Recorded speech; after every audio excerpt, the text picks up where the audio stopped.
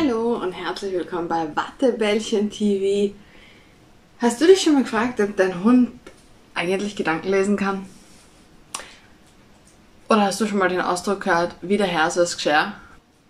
Heute geht es um das Thema Stimmungsübertragung und ob sich dein Stress eigentlich auf den Hund auswirkt in Zeiten wie diesen. Ich bin Janita, ich bin Hundetrainerin. Ich zeige dir, wie du eine vertrauensvolle Bindung mit deinem Hund aufbaust, um Angst und Aggression in den Griff zu kriegen und wieder Spaß gemeinsam zu haben. Und wenn du es noch nicht hast, nicht vergessen, Channel liken und abonnieren. Und schreib mir doch mal in die Kommentare, ob du schon mal das Gefühl hattest, dein Hund spiegelt dich total. Und jetzt viel Spaß!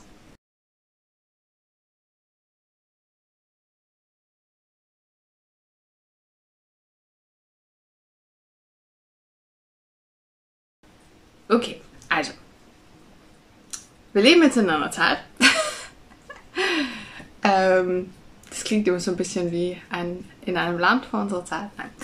Ähm, wo Inflation ein Riesenthema ist, wo wir aus einer Pandemie rauskommen oder auch nicht, oder wie auch immer, mit einer Pandemie leben und die Menschheit oder viele Menschen stehen unter einem erhöhten Stress.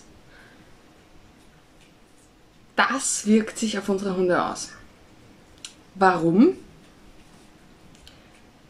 Da gibt es zwei Theorien dazu. Das eine ist, die, die sagen, unsere Hunde spüren unseren Stress und sind empathisch veranlagt. Die anderen sagen, unsere Hunde sind einfach wahnsinnig gut im Beobachten und Deswegen ähm, kriegen sie mit, wenn irgendwas nicht so in Ordnung ist mit uns.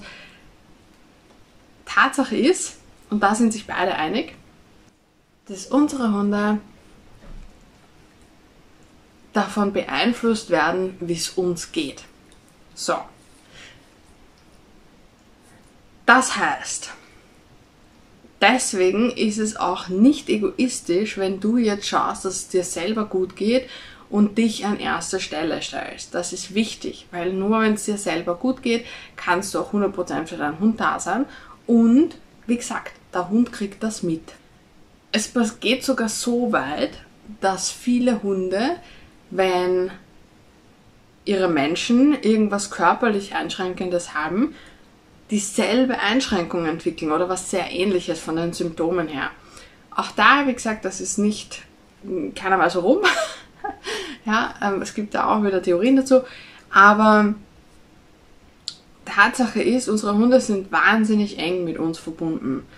Das heißt, wenn es uns nicht gut geht, unsere Hunde werden davon beeinflusst und kriegen das natürlich mit. Was kannst du jetzt machen? Ja, so ganz banal. Das erste, was ich auf jeden Fall empfehlen würde, ist keine Nachrichten schauen. Das sagen viele amerikanische Coaches zum Beispiel schon seit sehr langer Zeit. Und der Punkt darin ist einfach, dass Nachrichten mittlerweile nichts anderes tun, als Angst zu verbreiten und schlechte Emotionen. Weil das halt einfach medienträchtiger ist. Keine Ahnung, ja. Die Wahrscheinlichkeit, dass du dich gut fühlst, nachdem du Nachrichten schaust, ist relativ gering. Ja? Das zweite ist, schau, was sich gut für dich anfühlt oder womit du dich gut fühlst und davon machst du mehr. Das kann jetzt egal was sein. Ja? Lesen, äh, eine Massage, in der Natur sein, was mit dem Hund machen, Freunde treffen, was auch immer, ja. Aber dass du einfach immer wieder das Gefühl erlebst, mir geht's gut. Ja? Und eins, was mir zum Beispiel ganz gut hilft, ist, mir immer wieder vor Augen zu halten, das ist nicht die erste Krise, die die Menschheit durchlebt. Wir sind nicht die erste Generation, die sowas erlebt. Die Menschheit ist halt einfach ein bisschen belehrungsresistent, ja. Und ähm, leider, obwohl uns eigentlich die Vergangenheit zeigt, dass Kriege scheiße sind, müssen sich jetzt wieder Leute die Schädel einschlagen. Ja? Ähm, okay. Aber wie gesagt, wir sind nicht die erste Generation, die das durchmacht. Und alle anderen Generationen haben es überlebt. Das heißt, die Wahrscheinlichkeit, dass wir aussterben, ist jetzt nicht so hoch. Okay? Und ich weiß, das ist jetzt vielleicht nicht unbedingt so